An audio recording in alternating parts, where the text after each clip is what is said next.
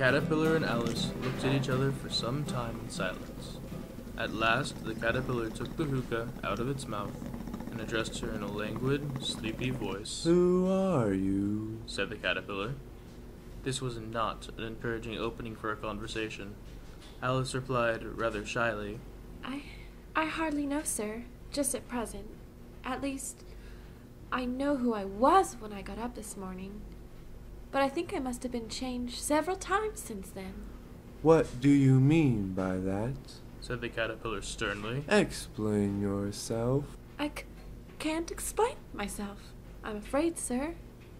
Because I'm not myself, you see? I don't see. I'm afraid I c- can't put it more clearly. Alice replied very, very politely. For I c- can't understand it myself, to begin with. And being so many different sizes in a day is very confusing. It isn't. Well, perhaps you haven't found it so yet. But when you have to turn into a chrysalis, you will someday, you know. And then after that, into a butterfly, I should think it'd feel a little queer. W- won't you? Not a bit. Well, perhaps your feelings may be different. All I know is it would feel very queer to me. You? said the caterpillar contemptuously, Who are you? which brought them back again to the beginning of the conversation.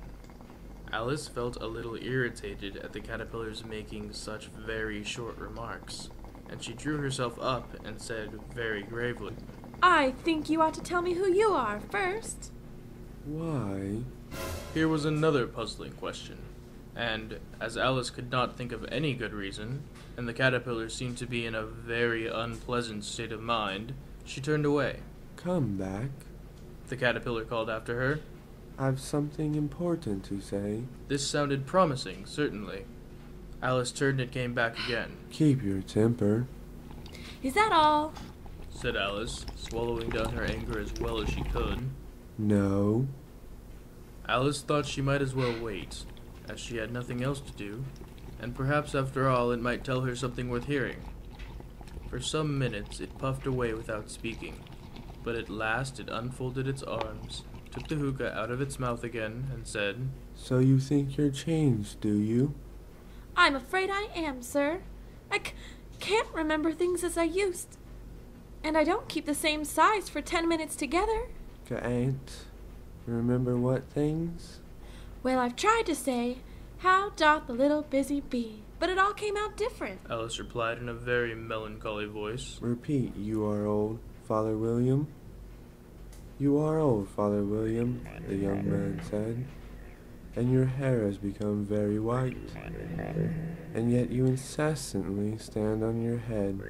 Do you think, at your age, it is right? Alice folded her hands and began.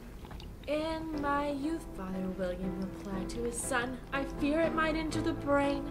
But now that I am perfectly sure I have none, why I do it again and again.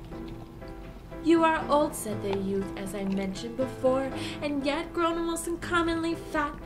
Yet you turn a back somersault in at the door. Pray, what is the reason of that? In my youth, said the sage as he shook his grey locks, I kept all my limbs very supple. By the use of this ointment, when shielding the box, allow me to sell you a couple. You are old, said the youth, and your jaws are too weak for anything tougher than suet. Yet you finished the goose with the bones and the beak. Pray, how did you manage to do it? In my youth, said the father, I took to the law and argued each case with my wife. And the muscular strength which it gave me my jaw has lost me the rest of my life. You are old, said the youth, one hardly supposed that your eye was as steady as ever. Yet you balance an eel on the end of your nose. What made you so awfully clever? I have answered three questions, and that is enough, said his father. Don't give yourself airs. Do you think I can listen all day to such stuff? Be off, or I'll kick you downstairs. That is not said right. said the caterpillar. Not quite right, I'm afraid. Said Alice timidly. Some of the words have gotten altered. It is wrong from beginning to end. said the caterpillar decidedly, and there was silence for some minutes. The caterpillar was the first to speak. What size do you want to be? Oh, well, I'm not particular to size. Alice hastily replied, Only one doesn't like changing so often, you know? I don't know. Alice said nothing. She had never been so much contradicted in all her life before, and she felt that she was losing her temper. Are you content now? Well, I should like to be a little larger, sir, if you wouldn't mind. Three inches is such a wretched height to be. It is a very good height indeed. said the caterpillar angrily, rearing itself upright as it spoke. I am was exactly, exactly three, three inches inches high. high. Oh, but I'm not used to it. Pleaded poor Alice in a piteous tone, and she thought to herself, I, wish the creatures wouldn't be so easily offended. You'll get used to it in time. said the caterpillar, and it put the hookah into its mouth and began smoking again. This time, Alice waited patiently until it chose to speak again. In a minute or two, the caterpillar took the hookah out of its mouth and yawned once or twice and shook itself. Then it got down off the mushroom and crawled away into the grass, merely remarking as it went. One side will make you grow taller, and the other side will make you grow shorter. One side of what? The other side of what? Thought Alice to herself.